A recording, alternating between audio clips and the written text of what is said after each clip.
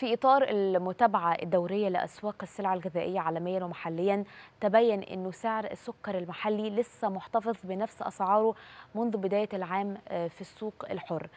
سعر السكر في الأسواق المحلية تقريبا بيتراوح ما بين 7 جنيه ونص و 9 جنيه ونص للكيلو. ده وفقا لبيان قطاع التجارة الداخلية بوزارة التموين. سعر السكر التمويني ب 8 جنيه ونص بيتم ضخ كميات كبيرة منه لتلبية احتياجات المواطنين من خلال الشركة القابضة للصناعات الغذائية واللي بتتحمل فارق السعر بين تكلفة الإنتاج وتكلفة التوزيع.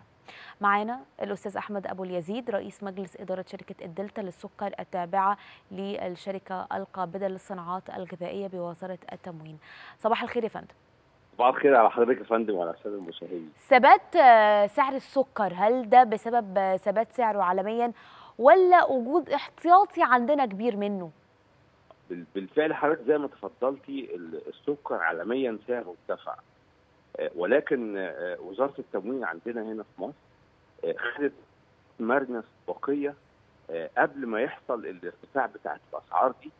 نظرا لأن إحنا تعلمي حضرتك أن الشركة شركة القبضة للصناعات الغذائية يتبعها شركة سكر وصناعات تكاملية وشركة السكر والصناعات التكامليه لها مشاريع أخرى مشاركة فيها تابعه لوزاره التموين زي شركة الدقهلية زي شركة دلتا للسكر زي النجارية زي الفيوم.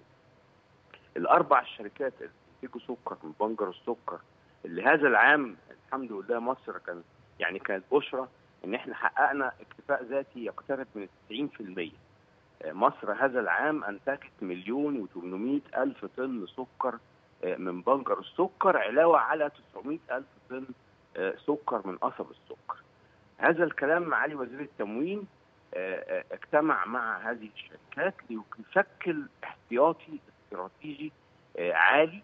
هذا الاحتياطي الاستراتيجي العالي بيعتبر أمان يتيح وفره بالسوق وبسعر توازني اقتصادي. زي ما حضرتك تفضلتي إن سكر التموين لن يزيد عن ال 8 جنيه ونص الكيلو والسكر الحر متوفر في المنافذ اللي تابعه للوزارة من خلال هيئه من خلال مجمعات إيه الأسباب أصلا اللي بتسبب آه ارتفاع أسعار السكر؟ يعني سواء محليا أو عالميا. تمام. حضرتك السكر مرتبط بالطاقة. يعني هو عنصر بالطاقة؟ طاقة. أيوه. لما بي... لما بيغلى البترول حضرتك يرتفع قيمة البترول بيرتفع معاه قيمة السكر. ليه؟ و... و... والعكس صحيح. ليه حضرتك؟ لأن ال... ال... عندنا البرازيل هي أكبر منتج للسكر في العالم بتنتج تقريبا حوالي 43 مليون طن.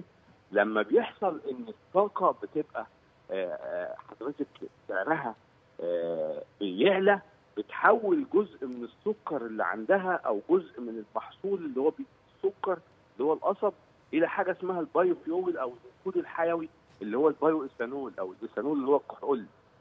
عشان لما بتحول جزء من الكحول عشان سعره بيبقى عالي في ذاك الوقت بيقلل المتاح في السوق. لما يقل المتاح في السوق العالمي يبدأ البورصة بتاعت السكر تعلى. في نفس في, في نفس الوقت التغيرات المناخية اللي إحنا بنعاني منها حضرتك وما شهده العام بقاله دلوقتي سنتين من تغيرات مناخية أثرت على أوروبا بجزء من الجفاف وهكذا في البرازيل فكمية المتاح اللي هو العالمي بدأ يقل من السكر المنتج عالميا أنا ما بتكلمش على داخل مصر. فبالتالي سعر البورصة بيبدأ يعلى فوق. بعض. الناس بتحاول تستغل الأسعار العالية بتاعت بره دي وتبقى عاوزة تعلي جوه مصر. الميزة النسبية اللي عندنا جوه مصر هو التنوع المناخي دوت. إن إحنا عندنا زارعين في كذا محافظة وزارعين في كذا في كذا مكان. ادتنا ميزة نسبية حضرتك زائد الخطة بتاعت الدولة اللي حطها في التوسع في في المحاصيل الاستراتيجية. توسعنا في زراعة بنجر السكر حضرتك في مصر.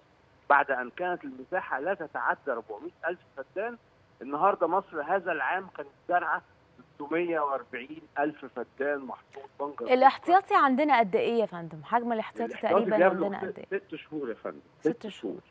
آه وبنطمن الناس حضرتك كلها السكر متاح وفي وفره وموجود في المخازن بتاعه المصانع ووزارة التموين عاملة خطوات استباقيه مرنة لتكوين هذا الإحداث الاستراتيجي بيتوفر السكر التمويني والحر كمان يا فندم في رينج الأسعار اللي هي اللي حضرتك في متناول الجميع آه 8 ونص في متناول الجميع مم. طيب هل هينشهد يعني انخفاض في أسعار الفترة اللي جاية؟ ال ال الانخفاض هو كل المحاولات دلوقتي حضرتك لثبات السعر. الانخفاض بيبقى أول حضرتك ما يبدأ يخش علينا شهر يناير بيبدأ الإنتاج بتاع الموسم الجديد وبيبقى في جزء موجود من الاحتياطي من الاحتياطي. فبيبقى الإنتاج زائد جزء من الاحتياطي فبيتعرض أكتر فتلاقي حضرتك حتى ممكن تلاقي في بعض الأماكن السعر يقل عن 8 ونص. امم إحنا معانا سعر ثابت دلوقتي الحمد لله 8 ونص وفي بعض الأماكن على فكرة ممكن تلاقي سكر حضرتك ب 8 جنيه وربع حر. يعني بعض المحافظات في بعض المحلات بيبقى معمول عليها عروض. لكن في أول ما يخش شهر يناير بيبقى في كبسة للإنتاج plus جزء مع الجزء بتاع الاحتياط الاستراتيجي يدي يدي عرض عالي قوي في السوق تلاقي السعر يكسر الثمانيه حضرتك في السوق الحر تمام الأستاذ أحمد أبو اليزيد رئيس مجلس إدارة شركة الدلتا للسكر التابعة للشركه القابضة للصناعات الغذائية بوزارة التموين. شكرا لحضرتك.